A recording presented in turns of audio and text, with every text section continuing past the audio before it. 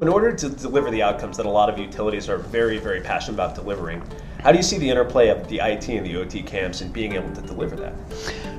I think historically the IT and the OT camps operated pretty much uh, autonomous of one another.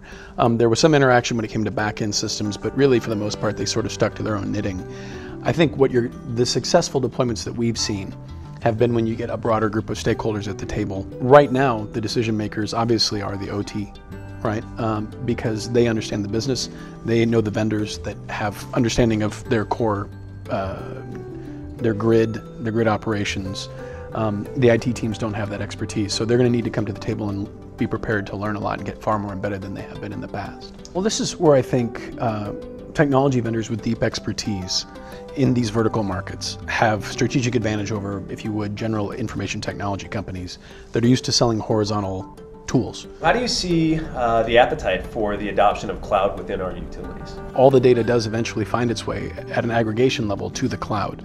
So it's right now, uh, at this point in time, it's about two thirds of people are doing the initial analysis and action on premise or near on premise, maybe at an aggregation point like an interconnect or a hoster, and a third of them are doing it in the cloud. Now, over time, that's growing considerably uh, year over year in cloud adoption. And we saw that initially with obviously billing and things like that. Utilities were some of the first to move to the cloud for sort of those back office functions.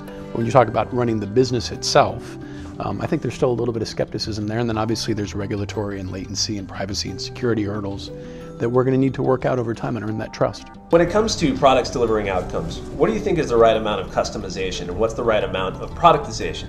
Uh, on one end, you have the opportunity to deliver fast time to value, but on the other, uh, you have uh, the, the opportunity to deliver something that is unique to the customer. Is there a proper balance for that, and uh, what are some of the considerations? I think the proper balance for that is it's threefold. One, obviously, as a vendor, you're going to want to deliver as close to that full outcome as possible. Um, it's lower risk for you, it's better value delivered to your client. Um, the clients themselves, at the end of the day, they're running an, they're running an electric network, right? They're running a grid. They're not in the software development business. Um, this is a tool to help them accomplish what they want to accomplish. So they do need to stretch a little bit and do need to come over and customize for their own environment because they understand it better than anybody. Mm-hmm. And then there's an opportunity for third parties to get in there, and that's partners that might fill in specific technology gaps between what you deliver to the door and then what the customer needs to implement.